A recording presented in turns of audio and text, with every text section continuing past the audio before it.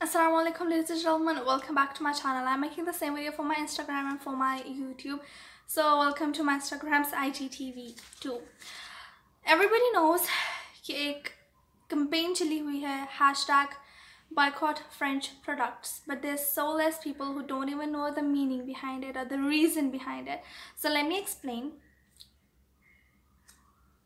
cutting the story short एक professor था in France what did he do he started showing the portraits of Rasulullah sallallahu alaihi wasallam in his class it was a history professor I guess history professor था and he started showing the portraits astaghfirullah astaghfirullah he started showing the portraits of Rasulullah sallallahu alaihi wasallam पता नहीं इतने guts कहाँ से उसके पास he knows that the community the Muslim community is so huge फिर भी so एक स्टूडेंट था he was very courageous I must say what do he killed that professor उसके बाद जो गवर्नमेंट थी फ्रेंच गवर्नमेंट उनको they got so much angry at this fact that they said that everybody has a liberty of speech they have liberty they can do whatever they want so what if we what if we show the portraits of Rasulullah sallallahu alaihi wasallam now we got to know कि ये हमारा एक weak point है weak, हम नहीं बर्दाश्त कर सकते रसोल्ला सल्लल्लाहु अलैहि वसल्लम की शान में कोई भी गुस्ताखी किसी भी किस्म की गुस्ताखी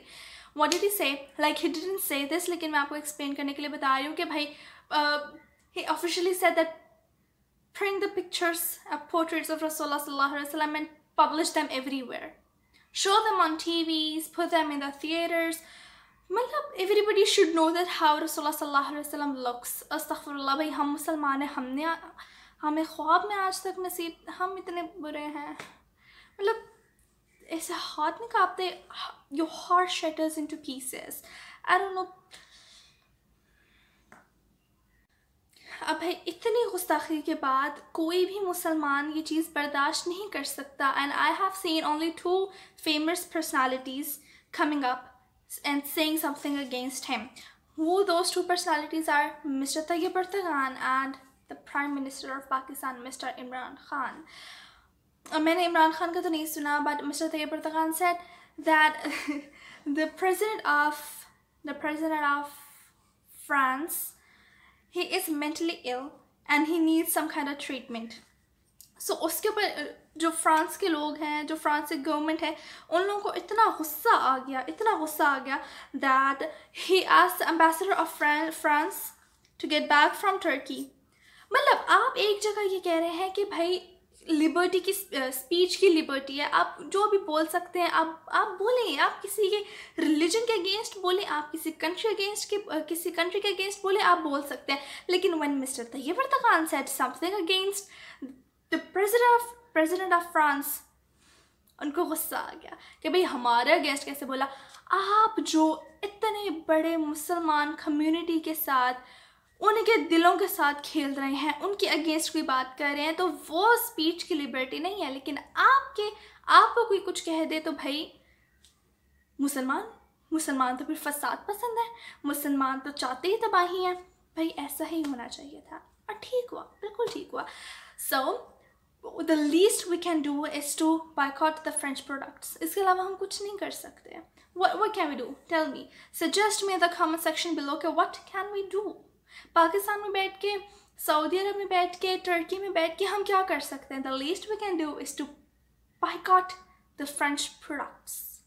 And this is what we're doing. The people of various countries have decided to boycott the products of France, which include Garnier, Garnier मैंने इसलिए नाम लिया क्योंकि वही सबसे ज़्यादा पॉपुलर है लॉरियल आई गेस वो भी सबसे ज़्यादा पॉपुलर है। Ladies and gentleman this is the least we can do go for it start to card the French products जब भी किसी कॉम से बदला लेना हो ना, मुल्क से बदला लेना हो hit on the economy this is the weakest point और इसके अलावा हम कुछ कर भी नहीं सकते। कवर कर रही हूँ बात को। So the economy will drop and they realize that what they did मुसलमानों से पंगा लिया ना? अब देखो, दुनिया तो चाहे इन लोगों की हो जाए, दुनिया तो चाहे काफिरों की हो जाए, आखिरत मुसलमानों की है। और दुनिया वैसे भी इस तरह ख़त्म हो जाएगी, आखिरत will stay for ever ladies gentlemen let's pray कि मुसलमान उम्मत फिर से इकट्ठी हो जाए। जो गलत कर रहे हैं इस्लाम के नाम पे, उन्हें समझ आ जाए कि वो गलत है। खैर it's another topic and will talk about this of the time. Jazakallah for being here. Jazakallah for listening to me. मैंने अगर ऊंच नीच कर दी हो बात में कोई तो I'm sorry. बहुत emergency में बोला है मैंने. Jazakallah for being here. May Allah be with us all. Don't forget to subscribe to the channel if you're new here. Assalamu alaikum.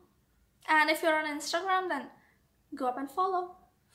Assalamu alaikum.